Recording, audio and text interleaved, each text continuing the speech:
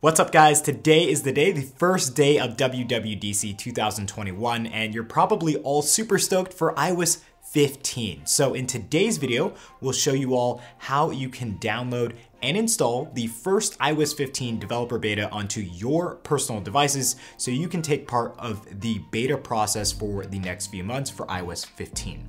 Now, before we get started, make sure to check out channel memberships down in the video description below for iOS 15 exclusive content, beta profiles, and there's a whole lot more coming in the next couple of weeks. A link to that will be in the video description below. Now, before we get to installing, downloading, and all that really cool stuff, I do want to make sure to let you know that there are some very short steps you might want to take before updating to iOS 15, that first developer beta. Now, these steps are all to protect your device and the data on it, so maybe just take a quick listen to hear some ways you can make this process as safe and as simple as possible. Now, number one is always back up your device before going to a beta build like the one we'll be installing today. It's better just to be safe than sorry, so definitely back up your device via the computer using Finder on a Mac, or you can just use third-party apps like iMazing as well.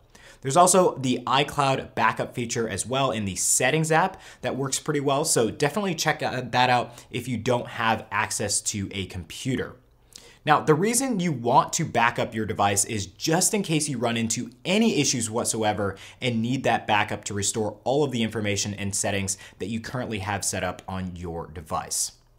Now, moving on to number two, and that is delete any previous beta profiles that you have on your device, whether that be public or developer beta profiles.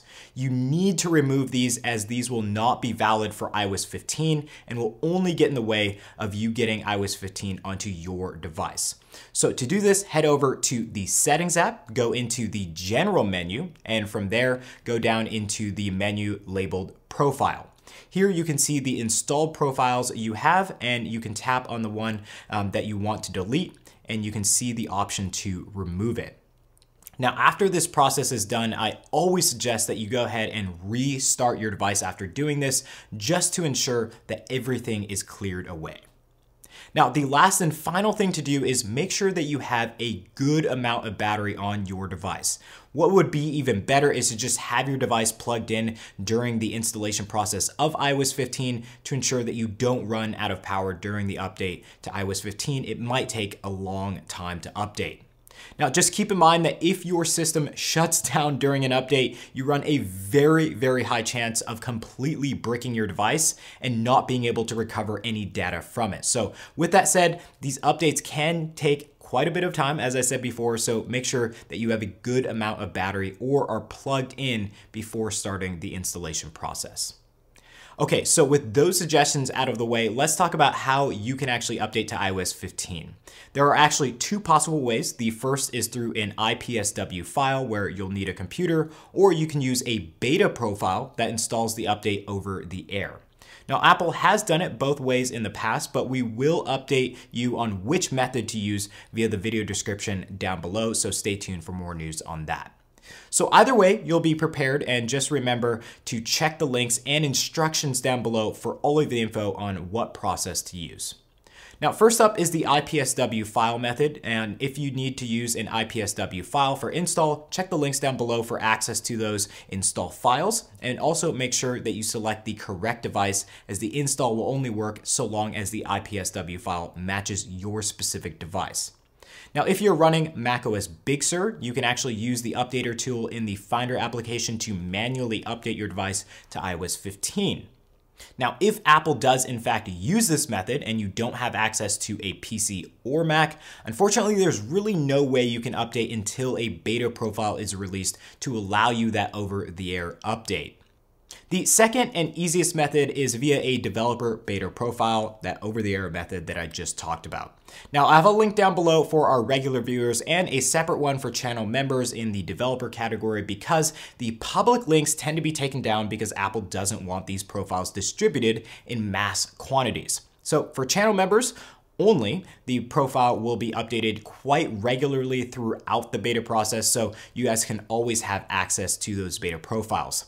The link to that will be located in the developer category of the members only community tab, just in case you are a member and want to check that out. Now, when you guys get that profile downloaded onto your iPhone or any other iDevice, all you have to do is open it up on your device, install it, restart your device, and then the update will become available via the software update page. Now from there, you will have access to iOS 15 and you can of course switch to the public beta profiles when those are released likely around the time that the third developer beta is released in just a couple of weeks.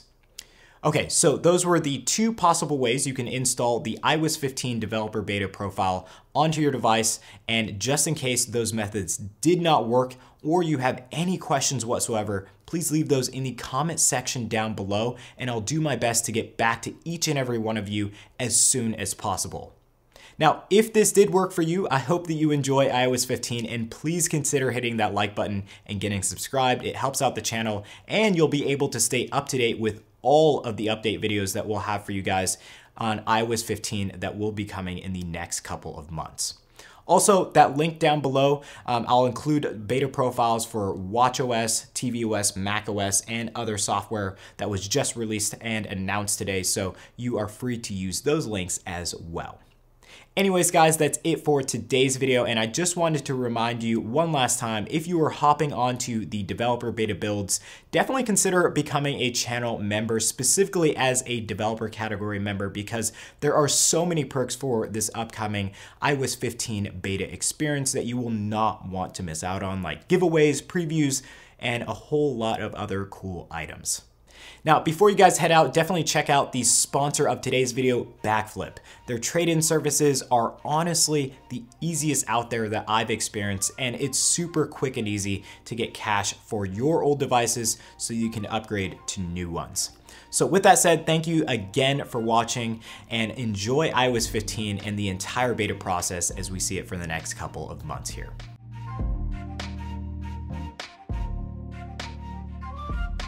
Hey guys, thanks for watching today's video on the updated YouTube channel.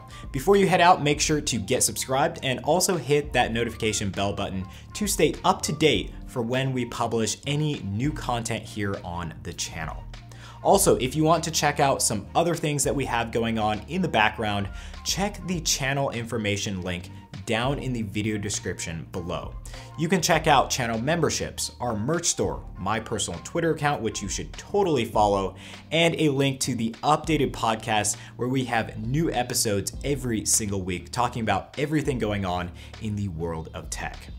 So thank you again for watching today's video, and we hope to see you guys in some upcoming content. But until then, I hope you all have an awesome day.